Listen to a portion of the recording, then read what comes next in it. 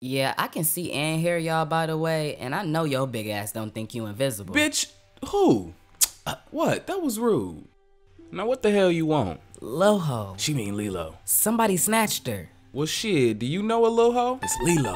Yeah, me neither. See, we don't even know what you're talking about. So if you just want to leave and let us around. Fuck you! Oh. I know you saw her. She was this big, had nappy hair like this, and she liked to hang out with that bitch of a Well, dog. damn. Listen, Earthling, we told you we don't know anything. Now, Jumba, She bring in your space prison. This motherfucker. Where in the galactic fuck? Yeah, we definitely can't disclose that information according to Decree 9 of Intergalactic Code. Yeah, we basically can't help you.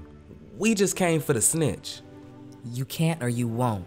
Well, you can take comfort in knowing that she'll probably become somebody's food. Yeah, I don't think they do that here, please.